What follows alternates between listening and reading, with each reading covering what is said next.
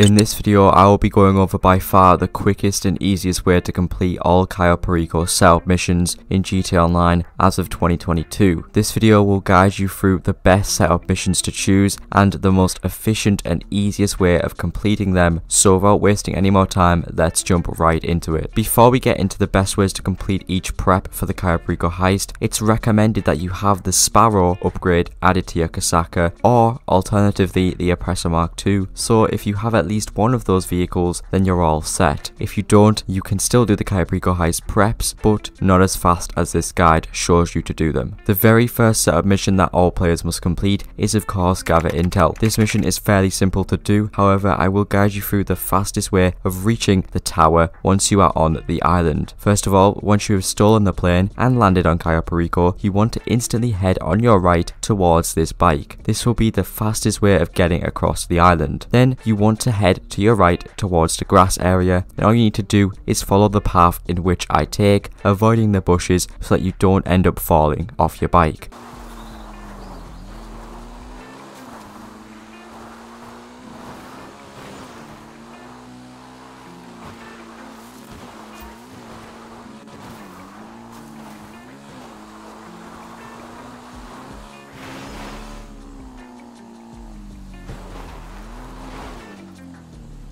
Okay, so you follow the path and you should reach this road. Ahead is a little bit of a tricky part. There will be a ton of guards including a watchtower, however we can easily get over here in less than 10 seconds. All you need to do is wait for the guard in the tower to be facing away from your direction and then you want to head towards this cliff face while at the same time doing a wheelie on your bike to get some easy momentum over the cliff.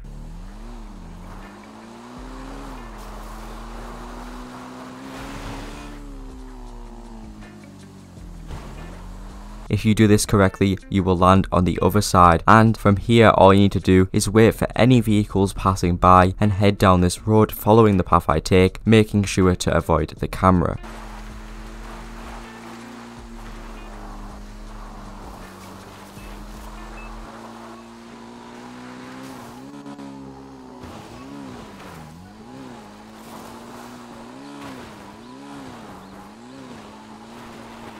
Once you make it up towards the tower, if you see a guard stood at the bottom, this means the power box is on the top of the tower. However, if a guard is not on the bottom, this means the power box is on ground level. Now, scope your targets and it's time for the next setup mission. So, the first setup mission you should always do is the weapon loadout. The reason for this is because of the amount of time that this prep can waste. For the loadout, I always recommend going for the aggressor loadout or the conspirator loadout. And you always want to buy suppressors for just 5000 $1,000. Now once you launch this mission, there is two variants that you can get. The worst is the Merryweather mission. This will waste around 10 minutes of time, however we can easily avoid this mission. All you need to do is head on over to the guided missiles. If you don't have this upgrade on the Kosatka, I recommend you buy it or you can use your Oppressor Mark II or the Sparrow. Now make sure your Kosatka is located at Vespucci Beach before you do anything and with the guided missiles you want to head to Elysian Island and blow up the Merryweather helicopter. Also, do the same with your Oppressor or Sparrow. After this, once you restart the mission, if you receive the Merryweather prep again, then use the second guided missiles as the other one will still be reloading. You shouldn't get this mission more than two times, but if you do, simply repeat the process. Now the best mission to receive is the building mission. On the bottom of your screen, you should see a signal to head to a building. Now, using your Sparrow, head out of your Kosatka and make your way towards the building. To speed up this process, I recommend landing your Sparrow down at the beach and then requesting your Oppressor Mark II via the interaction menu. Once it spawns, head over to the building. Always head into the building from the roof entrance. Land your Oppressor on top of the roof, close enough to the yellow checkpoint, and once you're inside, equip a silenced weapon. And first, you want to take out this guard right here by shooting at him through the door, like so. Make sure to shoot him in the head. Then push through the doors and shoot this door open and then kill the guard on the other side. Then push through into this room and then you want to shoot this door open and kill the guard stood at the desk. Check the safe, hack the laptop and collect the weapons. Then make your way out from the way you came back into the office and then you want to press the button which takes you to the roof which is Q on PC. From here all you have to do is hop on your oppressor and make your way back to the Kosatka. What I recommend you do is park your oppressor on top of the Kosatka by slowly slowly landing on top near this hatch and try and be careful not to let it fall into the sea. This will save you a lot of time when going in and out of the Kosatka for setup missions. Now for the next mission you always want to do the approach vehicle.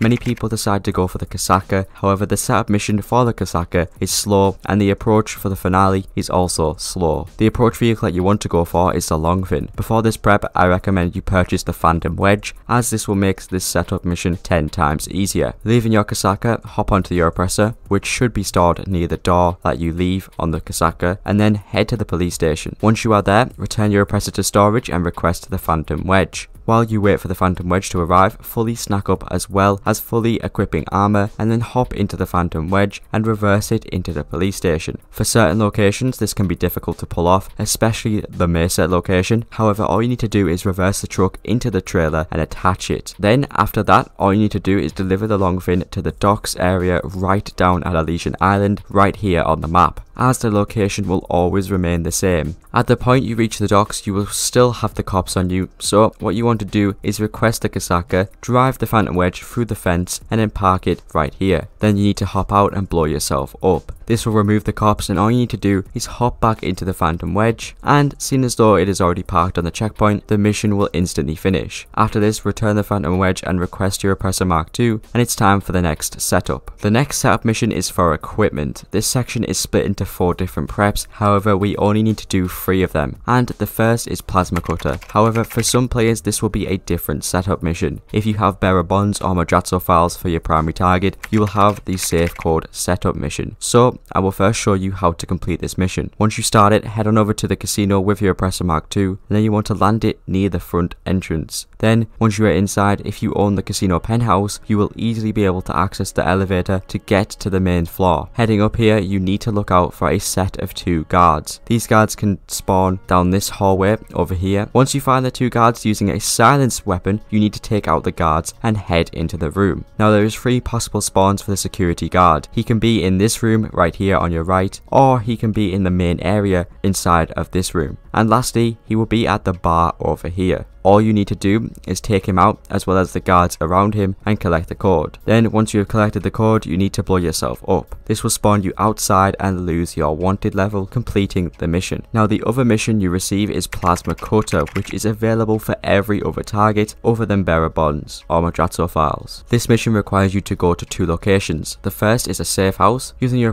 head on over to the safe house and once you get there, you need to go into first person and run into the door. Once you are inside, instantly open your phone and take a photo. Make sure you take the photo of this part of the room just like I do and it will count as a photo. After you've taken the photo, back up from the door and head out. Then you need to head on over to a bank. There is two locations, Vespucci Beach or Rockford Hills. Once you go to the location, make sure to equip armor and snacks and then blow up every surrounding vehicle and enemies with your oppressor.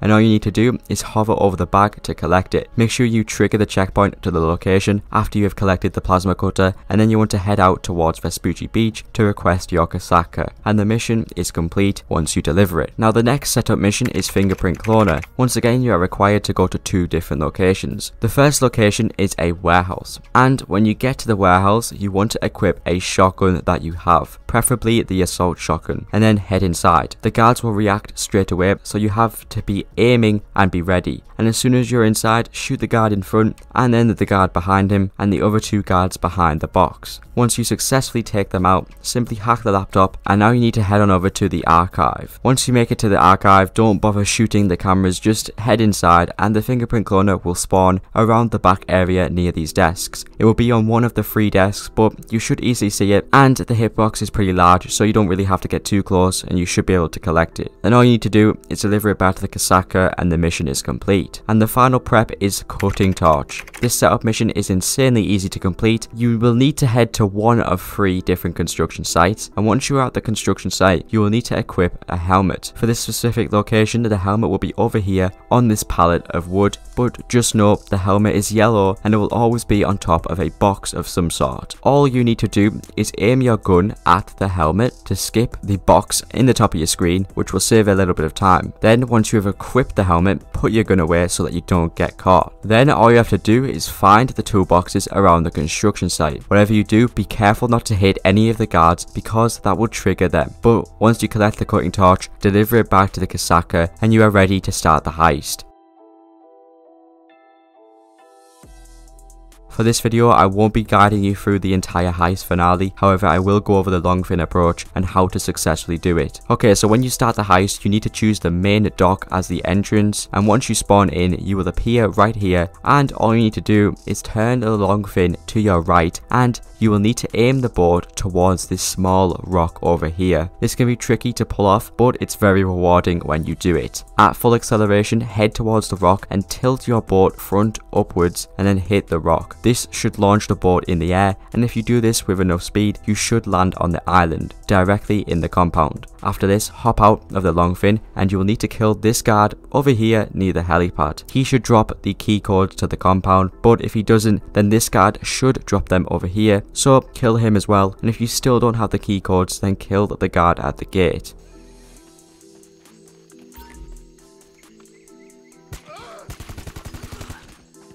He should also drop them. However, if your luck is still really bad, you will need to head on over to the main gate and kill all three guards to hopefully collect the key codes. Be careful of the car which usually patrols around the compound. If you hear an engine, just shoot him and kill the driver. He can also sometimes drop the key codes. By now, you should have them and all you need to do is head on over to the door and head into the compound. And from there, you are free to complete the heist in any way you prefer.